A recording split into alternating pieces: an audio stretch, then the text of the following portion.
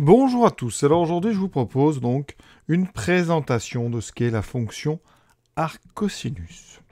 Ah, il faut savoir que les fonctions cosinus, sinus et tangente sont ce qu'on appelle des fonctions circulaires. Des fonctions qu'on obtient avec un travail sur le cercle, hein, le cercle trigonométrique. Et donc la fonction arc-cosinus, elle, c'est ce qu'on appelle une fonction circulaire réciproque. Ça va être la réciproque de la fonction cosinus sur un certain intervalle. Alors, avant de vous présenter ce que c'est Arcos, je vais d'abord vous présenter ce que c'est qu'une réciproque, avec des exemples que vous connaissez. L'exemple vraiment le plus emblématique de ce qu'est une fonction réciproque, ou ce que sont deux fonctions réciproques l'une de l'autre, eh bien c'est exponentielle et ln. Alors l'exponentielle, c'est une fonction qui est définie sur R, qui prend ses valeurs uniquement strictement positives, donc c'est dans R plus étoile, ça, c'est l'ensemble, donc image de R. Et à x, on associe donc exponentielle x, que je noterai e de x. D'accord? Eh bien, on a vu une deuxième fonction, la fonction ln, qui, elle, fait exactement le chemin dans le sens inverse, c'est-à-dire qu'on part de nombres strictement positifs. Ça donne des valeurs qui peuvent être n'importe quel nombre réel. Et à x, on donne ln de x. Qu'est-ce qu'en particulier les deux fonctions? La Première chose, hein, quel que soit x appartenant à R, si vous faites logarithme de exponentielle x, vous retombez sur x. Et pour tout nombre x appartenant à R plus étoile, donc strictement positif, exponentielle de ln de x est égal à x. D'accord? Quand on enchaîne comme ça deux fonctions, on dit qu'on les compose. Le symbole, normalement, c'est un rond. Ici, on vient de dire que ln rond exponentielle est égal à l'identité sur R. C'est-à-dire que si vous prenez un nombre x, si vous lui appliquez la fonction exponentielle puis la fonction ln, c'est comme si vous n'aviez rien fait. Et dans l'autre sens, exponentielle rond ln, eh bien ça donnera l'identité, mais dans R plus étoile. C'est-à-dire que n'importe quel nombre strictement positif, si vous faites ln puis exponentielle, vous êtes revenu à votre point de départ. Eh bien on dit que ln et exponentielle sont deux fonctions réciproques l'une de l'autre, sont donc réciproques. c'est très intéressant ça parce que, eh graphiquement, ça a une influence sur leur courbe. Voici une allure de la courbe d'exponentielle. Qu'est-ce qu'on peut y remarquer? Eh bien, que exponentielle de 0 est égal à 1. D'accord? Donc la fonction exponentielle, hein, eh bien, elle envoie 0 sur 1. Eh bien, dans l'autre sens, la fonction ln, ben, vous savez que ln de 1 est égal à 0. Donc la fonction ln, ben, elle fait ça dans le sens inverse.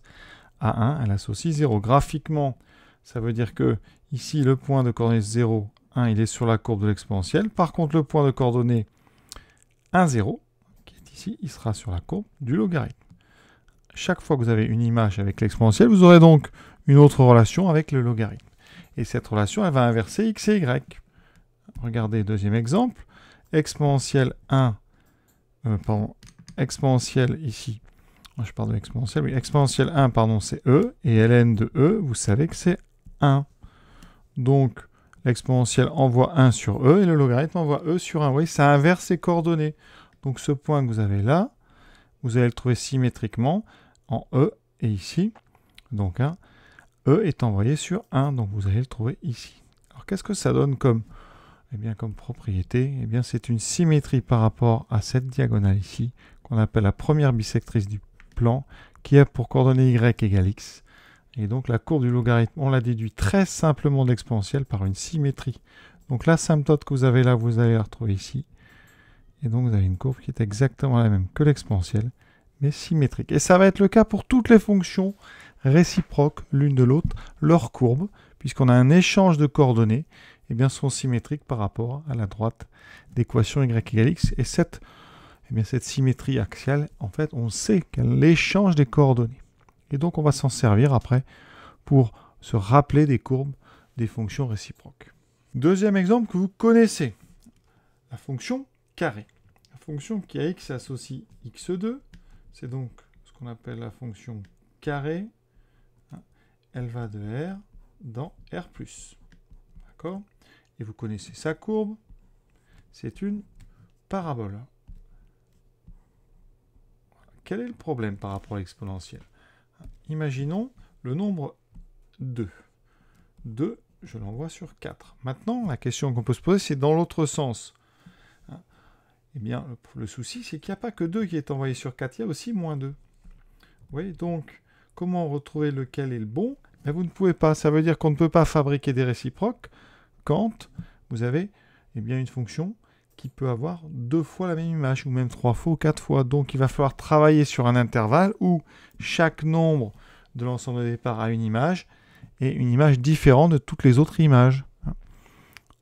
D'accord? Ça veut dire autrement dit, vous ne pourrez pas travailler sur la parabole entière, puisque à chaque image que vous choisirez, vous aurez deux possibilités. Donc on ne peut pas fabriquer ce qu'on appelle de réciproque sur un ensemble où la fonction, voyez, a plusieurs points sur la même hauteur. Donc quand on est en terminale ou même en début post-bac, on va travailler avec des fonctions qui sont strictement croissantes ou strictement décroissantes. C'est pour ça qu'ici, eh bien, la fonction carré, on va la travailler uniquement sur R+, qu'avec des nombres positifs. Et dans ce cas-là, eh bien, pour inverser un carré, mais comment on fait?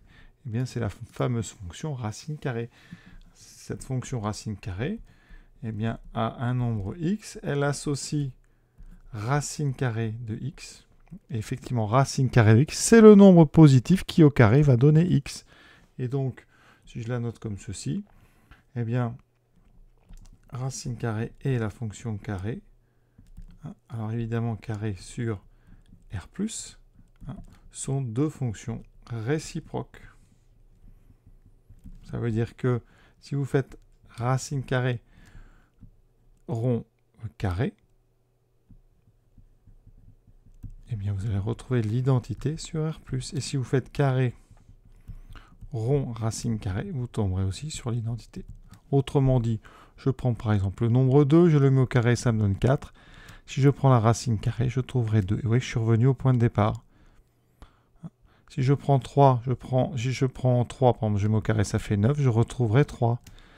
Dans l'autre sens, si je prends 9, je prends la racine carrée, ça me donne 3, je remets au carré, ça me donne bien 9. Donc ces deux fonctions, vous voyez, elles annulent, elles annulent leurs effets l'une et l'autre. Et donc ce sont deux fonctions réciproques, mais vous voyez, on a été obligé, par contre, de restreindre la fonction carrée sur un domaine où il est possible d'inverser. Donc il va falloir travailler, hein, et c'est ce qu'on va faire avec la fonction cosinus. On va travailler avec le cosinus, mais sur un domaine où, eh bien, chaque image n'a qu'un seul antécédent. Regardons hein, la courbe de la fonction cosinus. Si par exemple je prends cosinus 1 demi, ben, je vais me placer un demi. Quel est le nombre dont le cosinus vaut un demi? Le souci, c'est que ma question, elle n'a pas de sens, parce que quel est le nombre? Vous avez celui-là. Hein. Donc si je prends un demi, par exemple, ça peut être pi sur 3. Mais le souci, c'est que vous en avez beaucoup, parce que la fonction cosinus, elle est périodique. Donc si on vous pose la question cosinus x égale 1 demi, vous avez une infinité de possibilités. Donc si je veux, moi, créer une fonction qui me permettrait comme ça, eh bien, d'annuler l'effet d'un cosinus, il faut que je travaille sur un domaine où chaque image n'a qu'un antécédent. Et donc ce domaine, il va falloir le choisir. Alors quel a été le choix qu'on a fait? Eh bien on a choisi le domaine entre 0 et pi. C'est-à-dire ici, sur toute la partie strictement décroissante de 0 jusqu'à pi. Sur le cercle, ça correspond à quoi? Eh bien, On part de 0, on va décrire le demi-cercle supérieur, et on s'arrêtera à pi. Pour chaque abscisse que vous donnerez entre moins 1 et 1, vous allez trouver une et une seule valeur de x dont le cosinus sera ce nombre. Ça veut dire que la fonction arc cosinus, hein, elle est définie sur 0, sur moins 1, 1, pardon, sur moins 1, 1, et elle vous redonne un angle entre 0 et pi. Donc si je vous dis 1 demi, la fonction arcos eh bien, va vous renvoyer. Pi sur 3 vous renverra. Le nombre hein, entre 0 et pi dont le cosinus vaut 1 demi. Donc la définition qu'on pourrait donner, assez simple, c'est donc la fonction arcos, c'est une fonction définie sur moins 1, 1 qui prend ses valeurs dans 0 pi, et à x on associe quoi? Eh bien, on va associer hein, le nombre petit a de l'intervalle 0 pi tel que cosinus petit a est égal à x.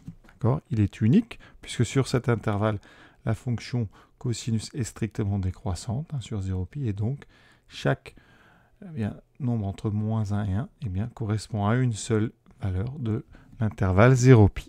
Alors maintenant, on va calculer quelques valeurs de cette fonction arcos. Donc ici, eh on va prendre les valeurs de x entre moins 1 et 1. Donc je vais prendre moins 1, on va prendre toutes les valeurs de cosinus qui, sont connues. Hein, moins 1, alors vous avez évidemment 0. On aura donc les connus. Alors, on a donc 1 demi, racine de 2 sur 2, racine de 3 sur 2, on a aussi 1. Et dans l'autre sens, on aura bien les mêmes, mais en négatif, moins 1 demi, racine de 2 sur 2, moins racine de 2 sur 2, et moins racine de 3 sur 2. Alors, quel est ici arc cosinus de x? Alors, on va commencer par lequel? Commençons par 1. Quel est le nombre dont le cosinus vaut 1 Eh bien, vous vous placez donc ici. On est sur 0π obligatoirement. Eh bien, le seul nombre ici, ça sera donc 0. Donc, arc cosinus de 1 vaut 0. Ensuite, ceux qui sont faciles à trouver, on va se placer en haut, donc en pi sur 2. Vous savez que le seul nombre de cosinus de 0, c'est pi sur 2. Ensuite, en pi, hein, cosinus vaut moins 1, donc arc cosinus de moins 1, c'est pi. Et je ne vais mettre ici que des réels entre 0 et pi. Donc 1 demi, ben, vous devez savoir, hein, le nombre de cosinus vaut 1 demi entre 0 et pi, ben, c'est pi sur 3. Donc par symétrie de l'autre côté, j'aurai 2pi sur 3. Donc, moins 1 demi, c'est 2pi sur 3. Ensuite, racine de 2 sur 2, ben vous savez que c'est pi sur 4. Racine de 3 sur 2, c'est pi sur 6. Et de l'autre côté, on aura donc 5pi sur 6 et 3pi sur 4. Voilà vos premières valeurs d'arcosinus. Regardez bien sur GeoGebra. Alors, ici, ça, c'est donc la courbe de ma fonction sinus sur R. Alors maintenant, je vous ai dit, on ne va travailler que de 0 à pi. Donc, voilà, ça c'est le cosinus sur 0 pi. Si je dois faire donc la courbe de sa fonction réciproque sur cet intervalle, mais ben, qu'est-ce que je vous ai dit? On va tracer la droite d'équation y égale à x. Voilà, c'est celle-ci, la première bisectrice du plan. Et on va prendre le symétrique de maths courbe rouge ici. Et regardez ce que ça donne. Ça donne ceci. Et eh bien ceci, c'est la représentation graphique de la fonction arcosinus sur moins 1, 1. Essayons de comprendre comment hein, explique-t-on la forme de cette courbe, sans parler forcément de la symétrie. Regardez, on part en moins 1. Donc en moins 1, en abscisse, on est ici à gauche. D'accord? Qu'est-ce qui se passe? Quand x se déplace de moins 1 vers 1, donc on se déplace sur l'axe horizontal vers la droite. Et donc l'angle au départ, c'est pi. Donc vous voyez pourquoi ici, on a à peu près pi. Qu'est-ce qui va se passer? On va se déplacer vers la droite. En même temps, le point va se déplacer sur le cercle pour nous permettre de trouver l'angle qui correspond.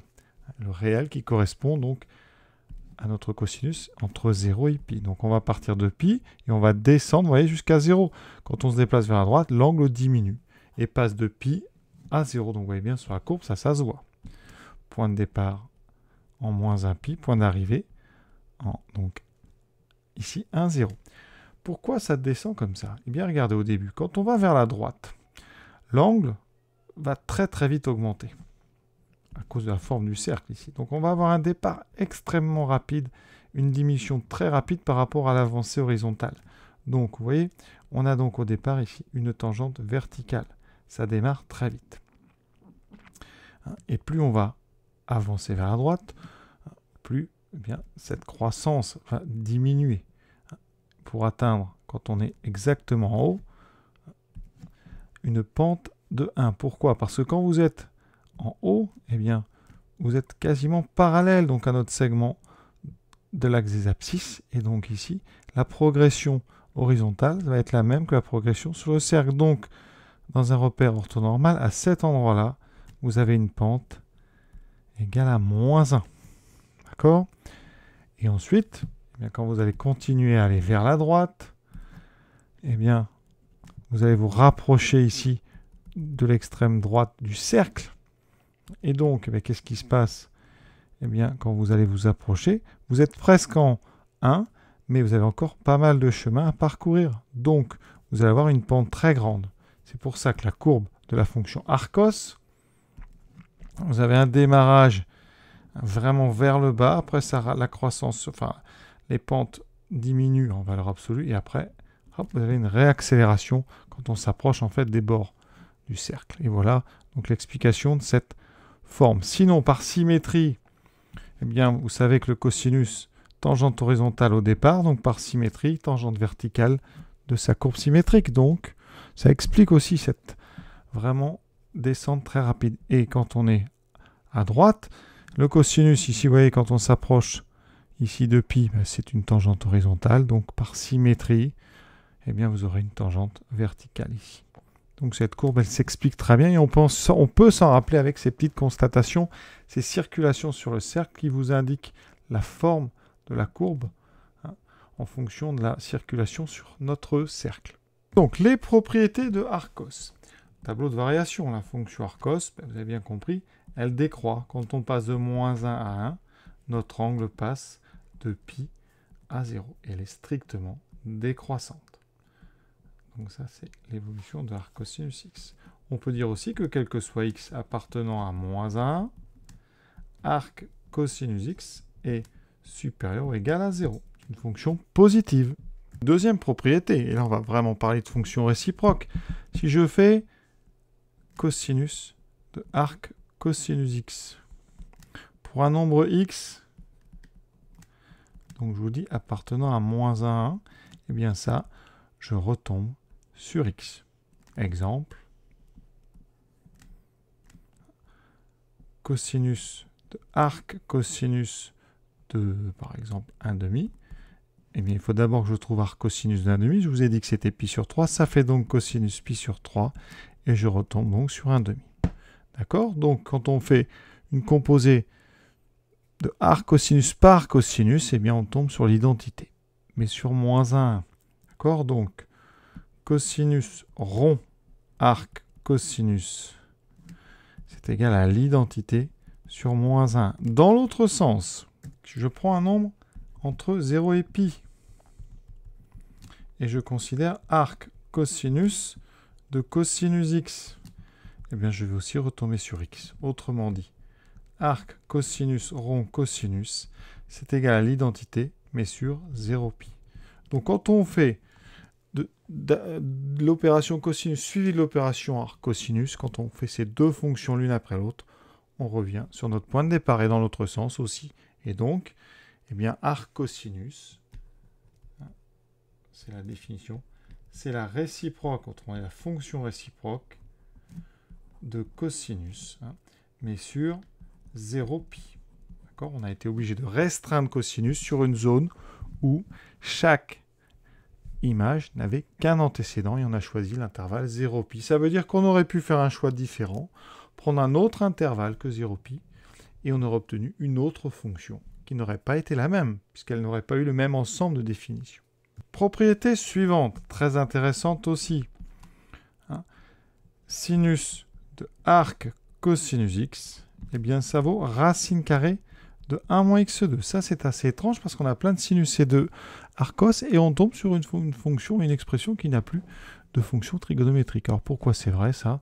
Eh Bien c'est assez simple parce que on sait que arc cosinus x, eh bien ça appartient à 0 pi.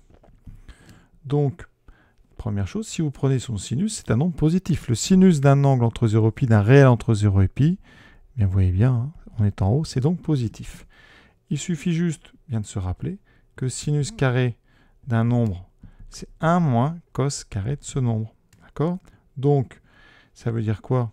Eh bien, Qu'un sinus, c'est racine carrée de 1 moins cos carré ou moins 1 moins cos carré. Ici, je vous ai dit, le sinus est positif. C'est donc la première version qu'on va retenir. Conclusion de ce que je viens de dire. Le sinus de arc cosinus, ça sera donc la racine carrée de 1 moins cosinus de arc cosinus x. Et je vous ai dit, alors j'oublie, pardon, le carré, excusez-moi, au carré. Je vous ai dit que cos de arc cosinus, ça faisait x, donc ici, ça fait racine de 1 moins x2. Donc on retient bien cette formule, on va s'en servir pour déterminer la dérivée de notre fonction arc cosinus. Alors, la dérivée. Alors pour ça, j'ai besoin d'une formule. C'est la dérivée d'une composée. Dérivée de f rond u. Eh bien, vous devez savoir, il faut la prendre. C'est donc u' multiplié par f' rond u. Autrement dit, je vais faire un exemple tout de suite. Vous devez, par exemple, dériver exponentielle u. Exponentielle u, vous savez, c'est exponentielle qu'on compose avec u. Donc c'est exponentielle rond u. Je fais d'abord u, puis l'exponentielle. Ici, j'applique la formule, ça fera u' multiplié par la dérivée d'exponentielle, donc lui-même, et vous retrouvez une formule u' exponentielle u. Cette formule ici qui permet de dériver toutes les composées, il va falloir la retenir. Alors, les petites conditions d'application, mais là, on ne va pas se préoccuper de ça, parce que j'en ai besoin pour montrer hein, et pour déterminer quelle est la dérivée de d'arc cosinus x. Alors pour ça, vous allez voir, je vais considérer une fonction, je vais l'appeler euh, comme en grand g, voilà, g de x, qui sera donc cosinus arc cosinus x. Je vous ai dit que cette fonction, hein, elle valait x. Là, on est donc sur moins 1, 1. Je vais dériver. Quelle est la dérivée de g'?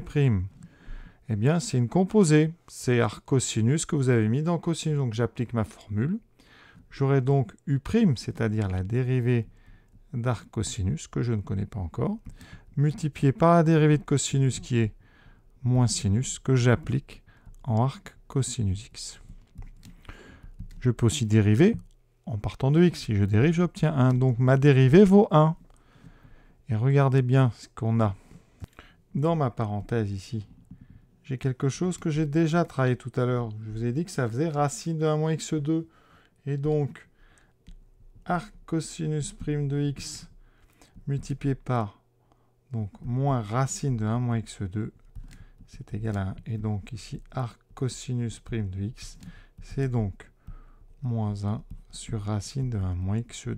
Alors, pour appliquer cette formule, par contre, j'ai admis quand même quelque chose, je vous le dis, j'ai admis qu'on pouvait dériver sur moins 1. Autrement dit, il faut admettre qu'une fonction ici comme la fonction cosinus, eh bien, elle va être dérivable, un cosinus et sa réciproque va être dérivable partout où la fonction cosinus hein, était dérivable avec une dérivée non nulle. Alors ça veut dire qu'ici, on va avoir un petit problème parce que le cosinus, vous savez que sa dérivée, elle s'annule en 0 au départ et à l'arrivée. Et donc ça veut dire par symétrie, votre fonction arcos ne sera pas dérivable en moins 1 et en 1 parce qu'on y aura des tangentes verticales. Donc la dérivée de Arcos, eh bien par contre ici il va falloir rectifier une petite chose, c'est qu'elle ne va être valable que sur moins 1. Donc la fonction arc cosinus x est dérivable sur l'ouvert moins 1, d'accord? Et sa dérivée c'est moins 1 sur racine de 1 moins x2. Et c'est pareil, vous pouvez l'apprendre, vous en aurez besoin parfois pour faire des calculs de primitives. Donc je résume ce qu'il faut savoir. Arc cosinus, c'est la réciproque de cosinus sur 0pi. Arc cosinus est strictement décroissante. Arc cosinus est une fonction continue sur moins 1, 1 et dérivable sur l'ouvert moins 1. Attention, parce qu'on a des tangentes verticales en moins 1 et 1. Et donc, sa dérivée sur cet intervalle arcos prime, c'est la fonction kx associe moins 1 sur racine de moins, sur racine de 1 moins x2. Et ça, je répète, sur moins 1, 1. Donc voilà tout ce qu'il va falloir savoir faire. Et je rappelle les deux formules que je vous ai données. D'abord, c'est positif, mais ensuite, cosinus de arc cosinus x est égal à x. Et sinus de arc cosinus x est égal à racine de 1 moins x2. Comme je l'ai dit plusieurs fois, hein, ça c'est donc valable sur moins 1, 1. Alors qu'est-ce qui se passe? Dans l'autre sens Est-ce que arc cosinus de cosinus x, ça fait toujours x? Eh bien, il faut faire attention. Sur 0 pi, hein, sur, pardon, sur, euh, oui, sur 0pi, ça ne pose pas de problème. C'est vrai, parce que arcos et cosinus sur 0pi sont réciproques. Donc ça, c'est obligatoirement vrai sur 0pi. Mais qu'en est-il si on prend un nombre en dehors? Par exemple, je prends 3pi sur 2. Je prends x égale 3pi sur 2. Combien vaut arc cosinus de cosinus? Est-ce que je retrouve 3pi sur 2 Ben non, parce que ça va faire arc cosinus de cosinus 3pi sur 2, qui vaut 0. Et vous voyez qu'en prenant arc cos de 0, je retrouve, et là c'est intéressant, pi sur 2. Je ne retrouve pas 3pi sur 2. Donc attention, quand on est sur un domaine extérieur à 0pi, hein, quand on fait arc cos après avoir pris le cosinus, on ne retrouve pas la même valeur. On est renvoyé obligatoirement sur 0pi, donc il faut faire très attention. Alors maintenant, on va bien regarder la courbe. Et ici, eh bien, on a une nette impression qu'on a un centre de symétrie à cet endroit-là, c'est-à-dire au point que j'appellerai oméga de coordonnées 0. ici, la moitié par rapport au haut. On sait qu'en haut, l'image de moins 1, c'est pi. Donc ça fait 0 pi sur 2. Alors, est-ce qu'on peut démontrer cette symétrie? Qu'est-ce qu'elle va impliquer Alors ici, ben, je vais prendre une abscisse x, d'accord Là, j'obtiens donc le point de coordonnées x, arc cosinus x, et son symétrique, donc je vais prendre moins x, serait ici, normalement, donc symétrique par rapport à oméga. Donc ça serait, donc on aurait moins x, arc cosinus moins x. Alors, si cette symétrie était vraie, ça voudrait dire que eh pi sur 2 est au milieu entre arc cosinus x et arc cosinus moins x. Donc, ça nous donnerait quoi? Arc cosinus x plus arc cosinus moins x divisé par 2 serait égal à pi sur 2. Et en multipliant par 2, eh on obtient une propriété qu'on va démontrer, quel que soit x donc appartenant à moins 1, eh bien, arc cosinus moins x, eh bien, c'est pi moins arc cosinus x. Hein, et on va le démontrer tout de suite. Démontrons donc ceci. il y a plusieurs façons de démontrer ça. Donc, première façon, on va passer par la définition de ce que c'est qu'arc cosinus. Donc, donc, prenons x dans l'intervalle moins 1, 1. D'après ce qu'on sait, il existe un unique nombre θ donc appartenant à 0π hein, tel que le cosinus donc de θ est égal à petit x. D'accord Ensuite, avec une formule de trigonométrie simple, ça veut dire que cosinus pi moins θ va être donc égal à moins cosinus θ c'est-à-dire à moins x. Et donc, maintenant, on va regarder arc cosinus x plus arc cosinus moins x va donc être égal à arc cosinus de cosinus θ plus arc cosinus de moins cosinus θ. Arc cosinus de cos θ, on a dit, puisque θ est dans 0π, ça donne bien θ. Et ensuite, arc cosinus de moins cosinus θ, eh bien à la place de moins cos θ, je vais mettre cosinus pi moins θ.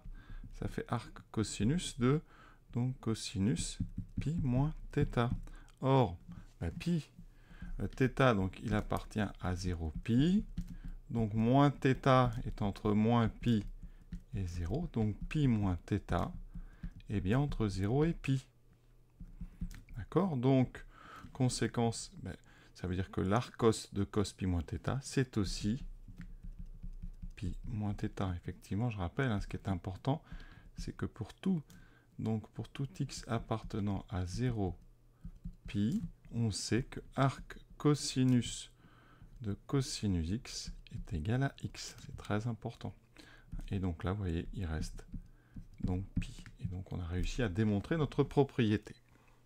Autre démonstration qui utilise une formule d'addition. Vous savez que cosinus A plus B, c'est cosinus A cosinus B moins sinus A sinus B. Donc j'applique ça. Cosinus donc de arc cosinus x plus arc cosinus moins x, c'est donc égal à cosinus de arc cosinus x euh, multiplié par cosinus de arc cosinus moins x moins sinus de arc cosinus x multiplié par sinus de arc cosinus moins x. Alors, je vous rappelle une propriété qu'on a donnée tout à l'heure, c'est que pour tout x appartenant à moins 1, 1, on sait que sinus de arc cosinus x, c'est, on l'a dit, racine carrée de 1 moins x2. Donc ici, ben, qu'est-ce que ça va me donner? Cosinus arcos, on l'a dit aussi, ça, ça vaut x. Hein. Ici, cosinus de arcos, donc ça fait moins x, moins racine de 1 moins x2, et ensuite, ici, je l'applique, ça fait racine de 1 moins, moins x au carré. Quand on développe, j'ai moins x2. Ici, eh bien, j'ai racine de 1 moins x2 fois racine de 1 moins x2, puisque le moins ici va disparaître. Il me restera donc 1 moins x2. Et quand je développe tout ça, ben, qu'est-ce qu'il me reste? Eh bien, donc, moins x2 plus x2, ça disparaît. Il me reste moins 1. Conséquence de ça. On a donc un réel dont le cosinus vaut moins 1. Alors attention, moins 1, ça peut être plein de choses. On sait qu'on est à gauche, mais c'est donc, ça veut dire que arc cosinus x plus arc cosinus moins x vaut pi modulo de pi. D'accord C'est-à-dire pi ou 3pi ou 5pi, etc. Donc ici, nous, on veut démontrer que c'est exactement pi. Alors, qu'est-ce qu'on sait? Eh bien, arc cosinus x, ça renvoie un nombre entre 0 et pi. Arc cosinus moins x, ça renvoie un nombre entre 0 et pi. Donc quand vous faites la somme arc cosinus x plus arc sinus x, c'est donc entre 0 et 2pi. Et entre 0 et 2pi, eh bien, il n'y a qu'un nombre de l'ensemble pi modulo 2pi. C'est donc pi, conséquence, vous voyez, avec ça, obligatoirement. Arc cosinus x plus arc cosinus moins x est donc égal forcément à pi. Et donc cette symétrie, eh bien, elle est bel et bien vraie. La courbe de arc cosinus possède un centre de symétrie, ici en 0, pi sur 2. Et donc, vous voyez cette fonction, alors c'est pas une fonction impaire ni paire, hein, mais elle a quand même une belle propriété de symétrie. Le centre de symétrie, vous voyez, a été décalé vers le haut de pi sur 2. On peut aussi procéder par dérivation. Alors déjà, on peut remarquer que, enfin, on sait que c'est dérivable sur moins 1, 1 ouvert arc cosinus, donc attention. Donc je vais étudier la fonction d'expression, donc arc cosinus x plus arc cosinus moins x. Cette fonction, elle est dérivable sur moins 1, 1. Donc f est dérivable sur moins 1 comme somme de deux fonctions, chacune dérivable sur moins 1, donc ouvert. Alors ce qu'on peut remarquer déjà, c'est que l'image de moins 1, c'est donc arc cosinus moins 1, on sait que c'est pi, plus arc cosinus de moins moins 1, donc arc cosinus 1, qui vaut 0. Donc f de moins 1, ça fait pi. f de 1, c'est donc arc cosinus de 1 qui vaut 0, plus arc cosinus de moins 1 qui vaut pi. Donc déjà, en moins 1 et en 1, on est bien, ça vaut bien pi. Hein. nous, ce qu'on veut montrer, vous voyez, hein, d'accord, c'est que ça, ça vaut toujours pi, quel que soit x appartenant donc à moins 1, 1. Alors on va dériver sur moins 1 ouvert. Combien vaut f'? Eh bien, on a appris à dériver arcos. Je vous ai dit, la dérivée, c'est moins 1 sur racine de 1 moins x2. Ensuite, arcosinus moins x, c'est une composée. On va donc d'abord dériver moins x. Donc on a un petit moins 1 qui va sortir, multiplié par la dérivée d'arcos qu'on applique en moins x. Donc un moins 1 sur racine de 1 moins, moins x carré. Ça me donne donc ici moins 1 sur racine de 1 moins x2. Ensuite, moins fois moins 1, ça fait plus. 1 sur racine de 1 moins, euh, ici j'ai mis x, 2x et x2, et ici donc x2, et vous voyez que ça donne 0. Conséquence, donc, on a une fonction qui, dont la dérivée est nulle sur un intervalle euh, non vide, ça veut dire que ici, pour tout x appartenant à moins 1, 1, f de x est donc égal à une constante. D'accord? Donc, pour trouver cette constante, je prends une valeur de moins 1 ouvert et je calcule cette constante. Donc, cette constante, eh ça sera l'image de 0. On va prendre ça simple. Combien vaut f de 0 ben, Arc cosinus 0, c'est pi sur 2. Arc cosinus de moins 0, c'est pi sur 2 aussi. Il me reste donc pi. Oui, donc, bilan. Pour tout x appartenant à moins 1, 1, f de x égale à pi. Alors après, la fonction est continue sur le fermé, donc toute façon, en moins 1 et 1, par limite, ça aurait donné pi. Mais on l'a vérifié. f de moins 1 est égal à f de 1, on a déjà vérifié que ça faisait pi. Donc vous voyez, quel que soit x, entre moins 1 fermé, on a bien la somme des deux qui vaut pi. Alors juste, calculatrice, hein, vous voyez, sur une Casio, on a ici la touche cosinus, mais au-dessus, vous avez ACS, et donc arc cosinus. Alors on va la regarder quand même rapidement. Vous voyez, si vous voulez, arc cosinus, donc vous voyez, ça tape cosinus moins 1, c'est une notation qui existe. Alors il faut faire attention parce qu'on peut se mélanger avec les puissances. C'est un moins 1 de fonction réciproque, donc on fait très attention. Vous voyez qu'on trouve bien pi sur 2. Au niveau de la courbe, ben, on peut la tracer. Hein. D'accord? Donc vous utilisez donc ici arc cosinus, donc ici cos moins 2x, on valide. Voilà, et vous obtenez. Alors ici, la fenêtre n'est pas top. Je vais prendre une fenêtre trigonométrique alors c'est pas mieux non plus parce que c'est pas vraiment une fonction trigonométrique, elle est réciproque. Donc si vous voulez une bonne fenêtre, il, faut vous placer entre moins 1 et 1. Ensuite, au niveau des valeurs, ben, on a dit, hein, on doit être entre 0 et pi. et là, vous aurez notre belle fonction avec son démarrage ici, les deux tangentes verticales et le centre de symétrie. Alors, une chose intéressante, hein, c'est de tracer donc euh, cosinus de arc cosinus de x. Regardez ce que ça donne. Donc ici, vous voyez, ça fait bien x hein, sur moins 1. Ça, on l'a déjà dit. Alors maintenant, dans l'autre sens, je fais donc que arc cosinus de cosinus x. Alors cette fonction, hein, si on ne la précise pas, elle est définie sur R, vous voyez, et ça fait une drôle de chose. Qu'est-ce qui s'est passé pour que ça nous donne ça? Vous voyez ici, j'ai plein de morceaux. Donc c'est très très étrange. Donc je la valide. Voilà. Et ça, c'est donc la courbe de arc cosinus cosinus x. Pourquoi ça donne une telle courbe? Regardons les courbes. Donc si je prends x entre moins 1, que je fais cosinus arc cosinus x, eh bien, comme les deux fonctions sont réciproques sur les bons intervalles, on a la fonction identité. Vous voyez, y égale x. Ça, c'est la droite d'équation y égale x. Donc on a bien donc cos arc cosinus qui vaut x sur moins 1. Sur 0 pi, même chose. Si vous faites arc cosinus de cosinus x, on retombe sur x. Par contre, si on prend x réel, vous voyez, quand on fait bah, cosinus arc cosinus x, ça n'existe pas partout. Ça n'existe que sur moins 1. Donc on n'a pas de problème. Par contre, arc cosinus de cosinus x, ça existe partout.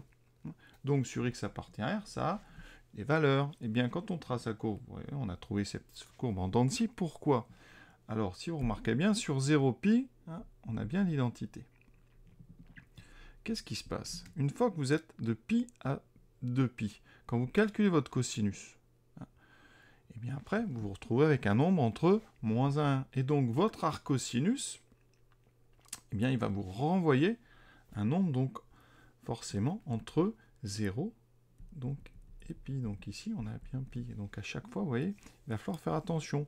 Donc en ce qu'on peut voir déjà, c'est que cette fonction elle est périodique. Effectivement, arc cosinus de cosinus x, comme cosinus est périodique, cette fonction donc arc cos que vous composez comme ça, arc cos rond cosinus, c'est 2pi périodique.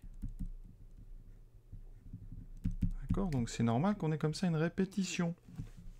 Ensuite, ben, on sait que cosinus c'est une fonction paire. Donc arc cosinus rond cosinus est une fonction paire. Ça veut dire que sa courbe est symétrique par rapport à l'axe vertical. Donc, eh bien, la partie ici de gauche, elle est tout à fait normale. Elle vient de la parité. Et ensuite, vous avez juste à répéter. Donc, cette courbe, en fait, ça n'est que la répétition de ce V ici qui est apparu grâce à la parité de arc cosinus, rond cosinus.